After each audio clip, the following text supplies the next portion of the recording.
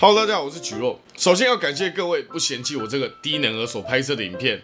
And I'm really glad that I finally have 20,000 subscribers. Yeah, okay, so I'm gonna answer a few questions that you might be interested about it. 那这次影片将会回答各位观众曾经问过我比较私人的问题，准备好了吗？为什么我会叫举弱？这个问题太简单了，因为小弟我不举，然后呢技巧又很弱。举弱，这样大家明白了吗？举弱是哪里人？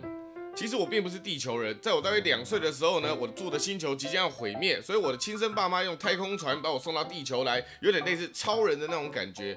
但不一样的地方在于，第一，我没有任何超能力；第二，我也没有超人帅。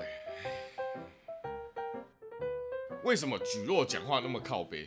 在这里要跟大家澄清一件事情。其实我在影片里面已经很收敛了，我平常讲话更靠背，所以基本上我就是个边缘人。昨天我在路上看到一只流浪猫，超可爱的，那我就对它喵了一声，结果那只猫忽然转头对我说：“喵大侠，边缘人。”当初为什么会拍影片？因为我发现网络上有很多英文教学，还有一些知识型的频道，每个都很优质，不但高水准，内容又营养。但是呢，重点就是太营养了，你知道吗？所以我就在想，应该要有人做一些不太营养的才对。然后呢，我就忽然想到我自己，刚好就是一个没有营养的人。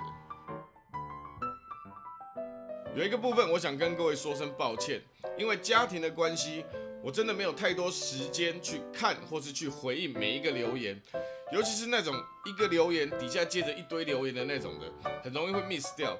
那举若也不是全职的 YouTuber。那所以，我只能利用下班到睡前的时间回复给各位。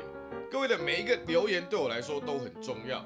但是如果我整个晚上都坐在电脑前面，那我以后大概回到家就没有饭吃了，晚上也只能睡在沙发上。那相信各位已婚男士都明白我在说什么。那也希望大家能够多体谅小弟，谢谢。为什么要做一些有争议性的影片？大家都知道我有做一些关于种族或是宗教等议题的影片，很多酸民说我根本在制造对立。那按照你们的逻辑，我今天如果讲猫比狗聪明，大象比老虎大只，山上优雅比你老婆还正，是不是一堆人也要在底下吵来吵去？有没有争议性，完全取决于在你们自己的想法。举若是不是跟黑人有仇？哈哈，事实刚好相反。其实我很喜欢黑人，因为每次在看完黑人的爱情动作片之后呢，都可以让我学习中华文化的美德、谦卑，也让我知道原来我自己多么的渺小。举弱的鸡鸡多长？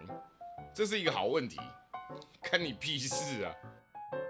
举弱是不是很讨厌基督教？全世界除了基督教之外，还有四千多个大大小小的宗教。很多基督徒都觉得我在针对他们，这时候我就要请大师兄来帮我解释一下了。唔係唔係，唔好誤會，我唔係針對你，我係話在座咁多位都係垃圾。其实举若我会创这个频道，是真的希望能够用简短的影片来帮助更多有需要的人，也让大家能够看到一些平常你可能会忽略的真相。所以我希望大家都能够用不一样的思维重新思考，这才是我真正的目的。这次的 Q&A 就这么多了，为什么？因为你们问我的问题就这么多啊。好了，我知道问题出在我的脸上，但是麻烦也给小弟一点面子好吗？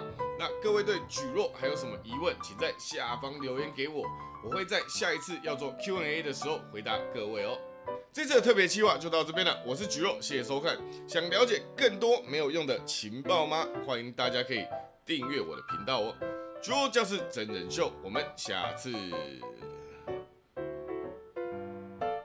见。